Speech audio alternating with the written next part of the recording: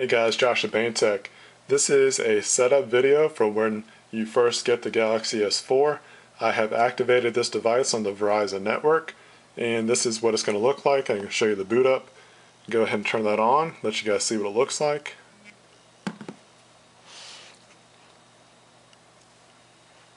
And then we'll talk about the setup process and what all that entails. Get a nice little elegant Samsung boot logo. The Verizon boot logo comes right after that.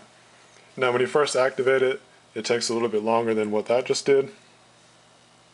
But I'm going to zoom on in and let you guys see what the setup looks like. Alright, the first screen you're going to get is your language selection.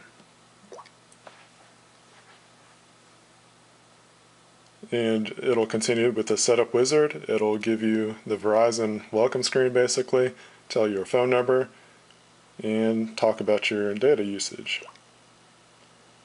And here's a setup wizard that'll help you guide to back up your contacts, set up your email, location preferences.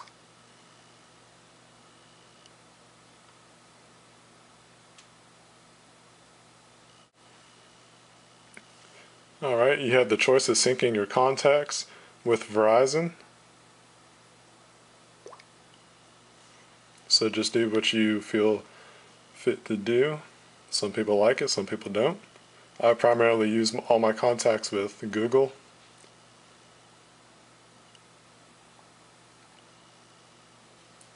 Alright, now you have the option to set up uh, some of your email accounts, and whether it's corporate, Yahoo, AOL, Windows, Verizon.net, and others, and your Gmail will be set up in another step. And I'm going to go ahead and skip all that. There's not really an account I want to set up at the moment. And this is your location sharing and data use, and I'm going to go ahead and agree. And you have Verizon Mobile. You can empower the account to check your balance, check usage and payments. And this is where you're going to set up your Google account.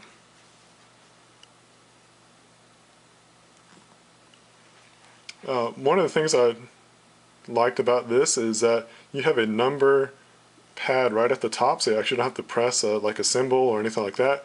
You can actually type right at the top for any kind of number. So I'm going to go ahead and log into my account. Be right back with you. And the next step is just basically to sign in and give permissions. Google Play. Let it do its thing. You can restore account on this phone and keep it backed up as well. And you can restore, which I am going to do. And that's basically going to help with any kind of apps that you had on an Android device previously, contacts, all that good stuff. In Google and location, I'm going to hit yes. I like location services. And this is the complete setup wizard and just hit done. And if you have a Samsung account, you can go ahead and sign in with that.